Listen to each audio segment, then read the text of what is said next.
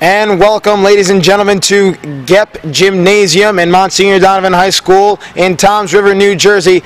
I'm Nick Colucci, here as always with my partner in crime, Tyler Krenick, and we are at Almost Anything Goes 2010. We have participated in many competitions throughout the week. Let's get a little insight as to what they were. Well, there's been a variety of contests encompassing a bulletin board decoration, a penny race, a soda tab race, a St. Jude's trivia contest, and each of these events, among many others, hold equal weight in the competition. What are some of your keys to the game today? If you want the freshmen, let's just say the freshmen want to pull the upset, they want to shock the world, what would they have to do? Well, Tyler, I mean, they're definitely coming into this anything goes without any experience. They don't know, they may not know exactly what they're doing. They've heard stories about anything goes. But when it comes down to it, they're going to have to rely on their smarts and their skills. And I think usually the seniors going into this competition are the favorites. Now, it's always good to be the favorite. It is because it shows the other teams respect you, but there's also a target on your back. Anything can happen, that's why they call it anything goes. This is anybody's game so far. We're excited to see what happens. We're going to see which team can come out on top. Exactly. The most difficult part of this is, you know, there's four members. It's a relay race. You go backwards on the skateboard. You have to spin around on a baseball bat. Usually you have to pop a balloon. It tests your endurance, your stamina. It tests a whole bunch of things. Which team is going to be the strongest?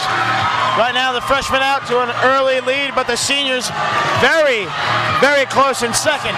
Spinning on the bat. He goes once, twice, three times. Jacob now on the bat. This one is going to come down to the wire for first and second. Sheamus gets the balloon. Martin still spinning. What are you thinking right now, Nick? It's going to be a close call. I don't know how to call it.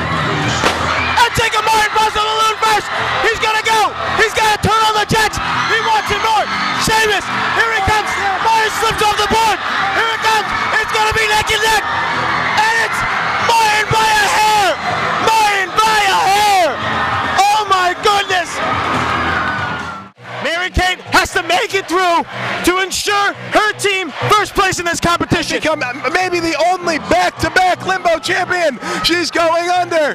Going. And Mary Kate Shalom will take it for the seniors. We call her champion for a reason, and she just proved why she will go down as one of the best limboers in Monsignor Donovan history. The toss will be underway. Oh! and it slips. That's okay. That's why you have two teams left. They can make a mistake like that, and they can still be okay. You know what else they can make? Omelets on the floor, because that's what that looks like. Oh! The egg hit the, the ceiling. It hit the ceiling, Tyler. Oh my goodness. Are you kidding me? The egg hits the That's just nuts. Tyler, I hate to be the guy who has to clean up that match. We have made it to the main event of Almost Anything Goes, the fabled story tug of war competition. It, it, I don't think it gets any bigger than this, and more important than this competition at Anything Goes. This is everything rolled into one. Listen to the anticipation rising in this crowd. The heavily favored seniors, the up and rising sophomores, a battle to the death. Oh, we hope not. Both pulling. The sophomores. Sophomores come out. They want it. They're pulling the seniors. They're pulling them.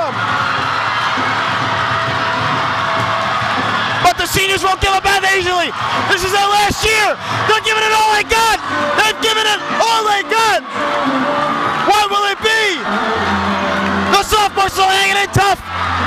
This is the wily old veterans going against the young guns.